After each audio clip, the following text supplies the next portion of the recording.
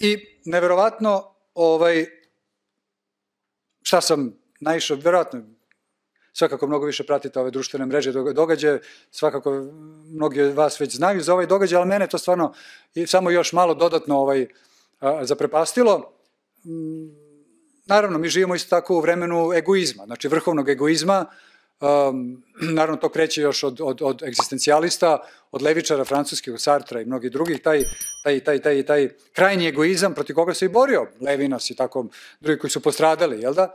Ovaj, znači, taj, taj, taj egoizam je do te mere došao da je došlo do sologamije. Sologamije. Znači, postoji gamos, je na grčkom, znači brak, znači imamo ono što je jedino pravo, jel da, jer čovek je, Bog je stvorio čoveka i ženu. Znači, postoji monogamija, jedan brak, ili jedno ženstvo, jedan brak, monogamija. E sada, postojala u starom zavetu, bigamija je postojala, ali po Božijem promislu. Znači, nije postojala poligamija. Poligamiju su posle uveli, islam je uveo poligamiju, znači, bigamija je bila muškarac i dve žene. Tako je bilo vreme, uh, bilo je malo muškaraca, dugo se živelo, više žena bilo kao i danas, tada možda još više, i dve žene, ali to je bilo Bogom blagosloveno. One su bile složne, one su volele svoga muža, oni vole svoje žene, vole svoju decu i to je bilo blagosloveno. Za vreme Starog Zaveta, posle ne. Onda dolazi uvod, islam uvodi poligamiju, naravno i mnogi drugi kultovi, filozofije religije, da ne ulazimo u to. I danas, u ovo potpuno izluđeno vreme, naravno, ovo su redke pojave, dolazimo do sologamije. Sologamija je samo venčanje. Znači, potpuno jedna izluđena stvar. Kaže, posle nekoliko godina u Americi dolazi do porasta pojave koja se naziva samo venčanje. Pa ja, pa ste se to, posvećenost duboko i značajnoj vezi samo sa samim sobom. Znate, to je, to je, to je taka, taka farsa i taka, taka smejurija i taka tragedija. I ko to, ko to radi? Znači, to je krajnja tragedija, tuga i krajnja perverzija mlade izgubljene duše 21. veka. To je neka devojka Dominik iz Kalifornije, naravno iz te Kalifornije svako jako ludilo dolazi, naravno među prvima su legalizovali travu i tako.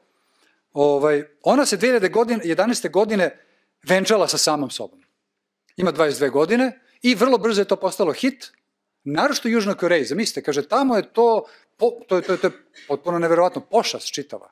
Južnokoreanci već toliko prezasićeni bogatstvom i tim, i tim upumpanim lažnim ovaj, bogatstvom od Amerike, da bi se, na, jel da, pokazali nad Severnom Korejom, koja je nekak, nekako bila prote, protektorat ovaj, Rusije, oni su uništili taj jadan ovaj, indokineski narod, azijski narod, i sad oni tamo, to, to je, kaže, čitava manija za samovenčavanjem. Čovjek se venča sam sa sobom.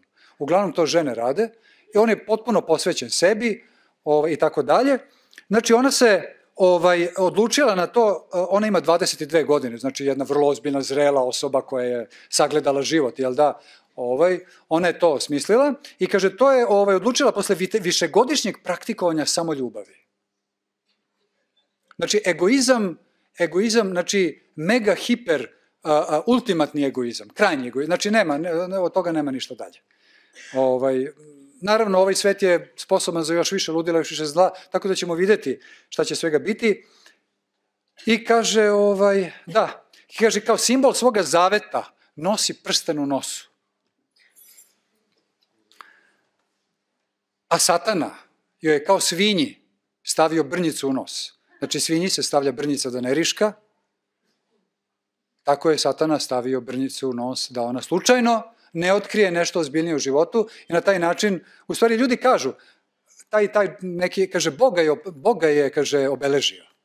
Znači, postoje ljudi koje je Bog obeležio na neki lep način, a ima prosto upozorio je čovečanstvo glasom, nekim belegom, ovim, onim, nekim pokretima ruku, oblikom glave, usana, očiju i tako dalje.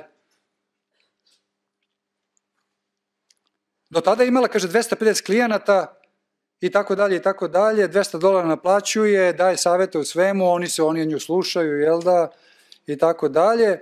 I kaže, šta ona kaže? Mnogi ljudi kritikuju samovenčavanje zato što ne razumeju potpunosti šta ono u stvari znači.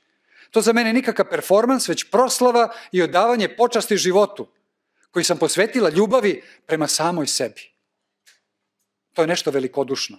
Znači, potpuni satanizam.